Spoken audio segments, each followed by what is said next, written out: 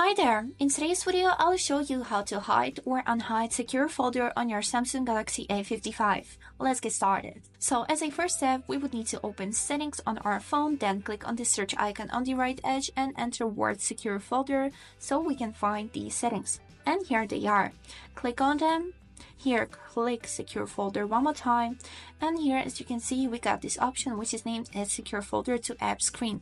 We can also check it. I can see my secure folder right here and also here.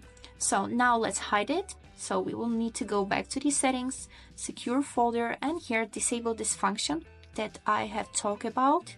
So let's disable it, click hide and the secure folder will disappear from both of these screens.